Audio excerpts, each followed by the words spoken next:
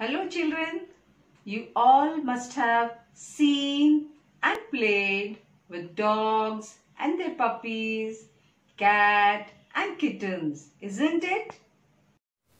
Children, here you can see this picture of animals with their babies. Let's write names of the baby animals. First one horse baby is called foal. Second cat baby kitten. Third hen baby chick. Then below we have swan baby cygnet kangaroo its baby is all, always found in its pouch.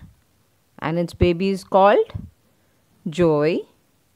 And this one is frog. And we learned about its baby in our earlier chapter. It is called as tadpole.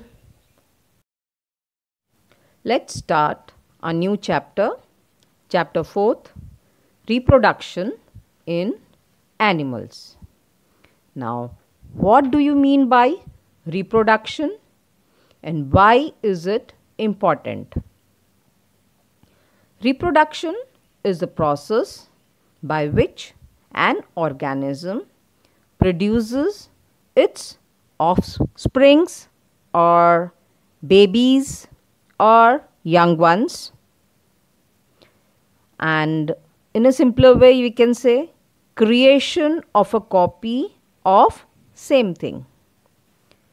So, living things reproduce to give birth to babies of their own kind.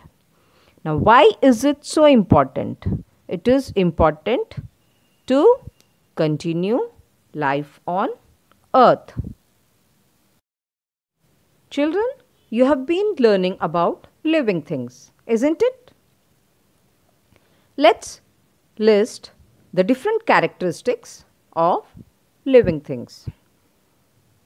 I know you have made a big list starting with living things grow, living things respire, living things move, living things respond to the stimuli, living things reproduce.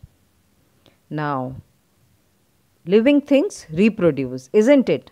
So, today we will learn about how living things reproduce. Types of reproduction Animals reproduce in two ways. One, by laying eggs. Two, by giving birth to babies. Some animal babies look similar to their parents when they are born. For example, cats, dogs, cows, and human beings. Some animal babies look very different from their parents when born they start resembling their parents as they grow. For example, butterflies and frogs. Let's start with animals that lay eggs. Animals such as birds lay eggs to reproduce. These eggs need to be kept warm till they hatch. Now, what do you mean by hatch? Hatching is a process by which an egg is broken and a chick is born. Once the eggs hatch, the young ones come out. Birds build nests to lay eggs and raise their young ones. insects, reptiles, and amphibians also lay eggs to reproduce. Children, you all must have seen an egg either in a picture or in real.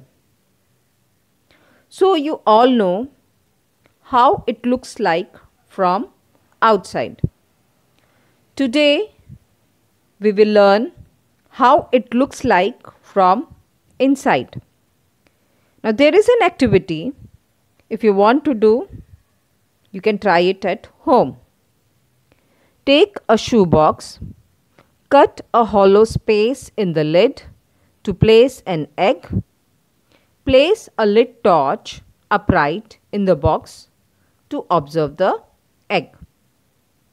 This is what you will observe.